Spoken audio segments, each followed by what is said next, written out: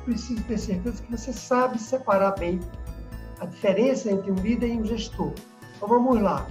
Um gestor é aquela pessoa que tem uma capacidade maior de reunir os recursos que a empresa tem, uma pequena e média empresa nunca tem muitos recursos, para que ela alcance seus objetivos de crescimento. Quer dizer, ele sabe planejar bem, sabe montar um bom plano de trabalho, estabelecer tarefas, delegar atividades, cobrar resultado para saber se as pessoas estão fazendo ou não e ajustar o que não está funcionando bem.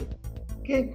Ele junta ali todos os componentes da empresa para que ela alcance eficiência e eficácia e atinja seus objetivos de crescimento. Já o líder, ele é uma pessoa meio que iluminada, que os colaboradores, parceiros, outras pessoas gostam de seguir, porque ele tem uma capacidade meio que mágica de fazer com que as pessoas acreditem no que ele está falando, ele tem uma clareza muito grande também de dizer onde é que ele quer chegar.